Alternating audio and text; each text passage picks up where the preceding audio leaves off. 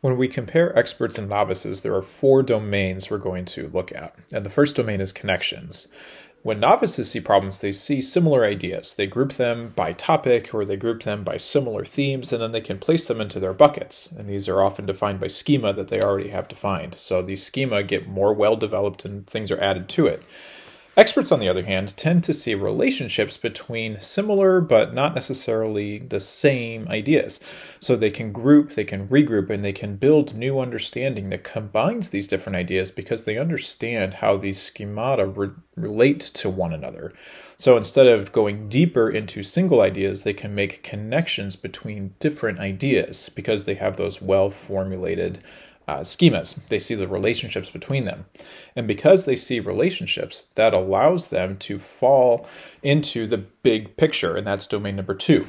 Experts tend to think in big ideas they can see the relationships between individual components of big ideas. So in this case, they can see the relationship of the rocket to the moon and the Earth. Now, this is a huge idea with a lot of moving parts, but because they're experts, they understand the relationships between system A, system B, and how that relates to system C of whatever that kind of uh, focus area is.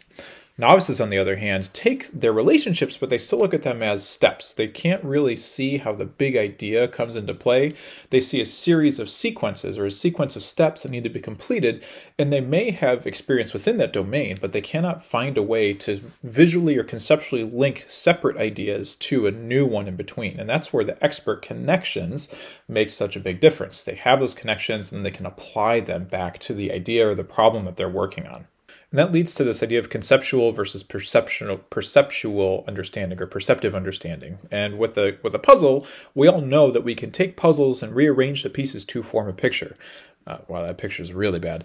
But the expert on the other hand, doesn't have to see the pieces and manipulate those individual pieces as concepts, or they can actually perceive what the end result should be. They are able to conceptualize in their mind the end result without having to really play with the pieces of a system. Um, novices, on the other hand, have to they have to figure out categories for those items. Experts have those those categorical experiences. They can see the relationships between those relevant areas and how that forms to a big picture. Now, this isn't well understood. We're not really sure how this conceptualization changes into perception, um, but it's something that experts all show. Now, the fourth domain is pattern recognition. There are sometimes individual ideas that a novice sees as separate ideas. So we can see them, they are isolated, they are unique, they are on their own, and then they can start to put them into order. So they can see how there are sequential relationships between ideas. Um, so we can go down the line, but then the problem is here at the final step, there is no letter E in our system. We've done step one, two, we've inserted step three, where we might have had some prior experience, but when there's a new novel situation, novices don't always understand how to handle that well. Experts, on the other hand, have these schema. They can see the patterns between ideas. They can see the patterns between those schemata of their understanding, and they are able to intertransfer those as needed in order to apply them to novel situations. They can see a new problem, pull information that they need from the schema, seeing the big picture, and they can come up with these new solutions to new problems. They don't get stumped when there is a piece missing from the the problem in, at hand. Those solutions are based on patterns that they have experienced. And what this shows is that a variety of experience leads to more patterns that can be fit into their schema. And so experts build the experience of where to fill in the missing pieces because of patterns that they have seen. And so that's why experience in any field is such a critical piece to building expertise, because then you can fill in the blanks based on other past experiences. So, reviewing these four domains, experts all see connections between ideas.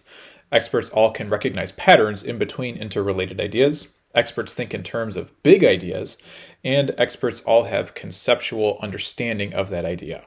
They are able to take pieces of information and apply them in new ways, and that is what separates a novice from an expert.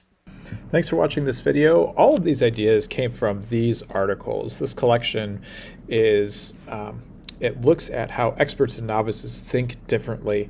And a lot of these ideas uh, from my video are summaries of those pieces and then explanation on top of that. So um, if you're interested in this idea about how expertise is formed and how that differs or how you grow from being a novice to an expert, you should go and find these and give them a quick read yourself.